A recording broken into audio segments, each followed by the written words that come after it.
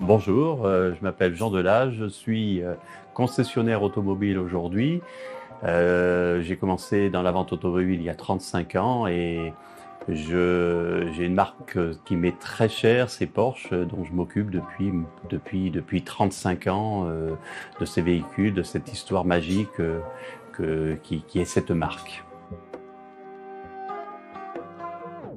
Aujourd'hui, l'ensemble des marques mondiales ont, investi pour les cinq prochaines années 75 milliards de dollars dans la recherche électrique. Ce qui veut dire que on ne coupera pas l'électrique. C'est quelque chose euh, qui, est écrit. Le changement, le changement, il n'est pas pour demain, il est pour aujourd'hui. Alors quand on parle d'électricité, euh, on nous parle de véhicules 100% électriques, mais euh, on peut aussi penser aux véhicules hybrides rechargeables qui font partie de la gamme électrique. Je pense qu'il faut qu'on différencie la mobilité entre les grands trajets et les petits trajets, puisque le, kilométrage moyen d'un individu en France se trouve de l'ordre de 80 km par jour.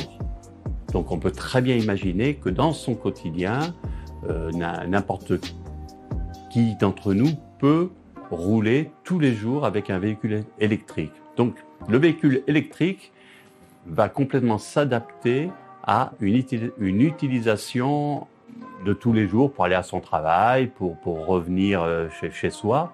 Par contre, ne correspond peut-être pas tout à fait pour ce qu'on appellera les grands trajets.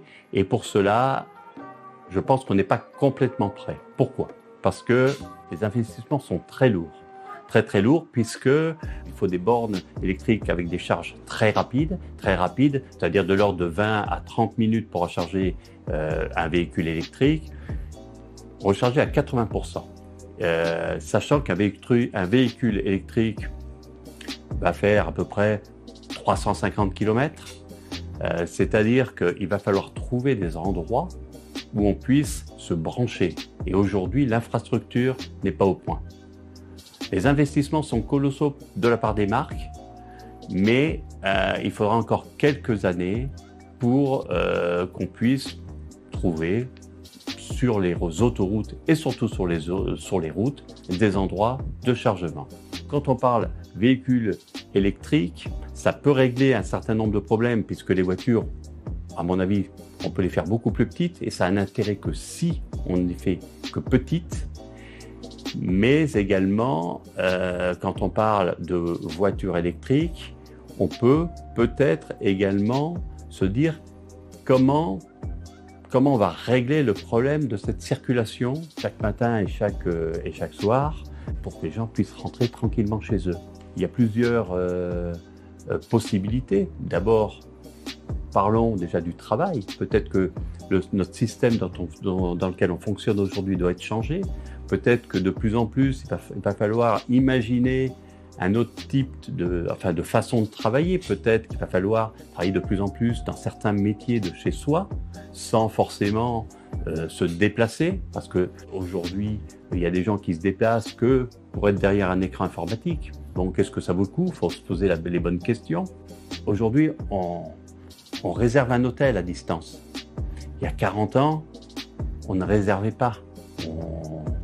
Allait, euh, on allait, on a, on, allait quelque part et on cherchait un hôtel. Demain, qu'est-ce qui va se passer? Les gens réserveront leur recharge à distance. Alors que nous, notre génération, on n'est pas prêt à l'accepter. Donc ce sont des, ce sont des, ce sont des changements qui, vont se faire tranquillement avec les générations qui arrivent. Donc tout ce qu'on peut imaginer, nous, avec notre savoir, notre expérience, quelque part, faut peut-être l'oublier. Je dis souvent que notre expérience est notre euh, plus mauvais ami parce que les choses changent tellement vite que par rapport à ce qu'on a vécu, il me semble difficile de, se baser sur ce qu'on sait euh, par rapport à ce que les nouvelles générations vont faire elles-mêmes euh, dans l'avenir. Donc la mobilité, on parlait tout à l'heure de, de, travail, on parlait de, déplacement. L'électrique, oui, je pense que c'est l'avenir dans tout ce qui est côté urbain. Il faut savoir qu'une batterie, une batterie, euh, dès qu'on la fabrique, par rapport à un réservoir d'essence, c'est déjà beaucoup plus polluant. Donc, est-ce que c'est l'avenir sur tous les, les types de, de mobilité qu'on puisse avoir? J'en suis pas sûr. Pour qu'une batterie, pour qu'une voiture électrique soit propre, il faut rouler avec.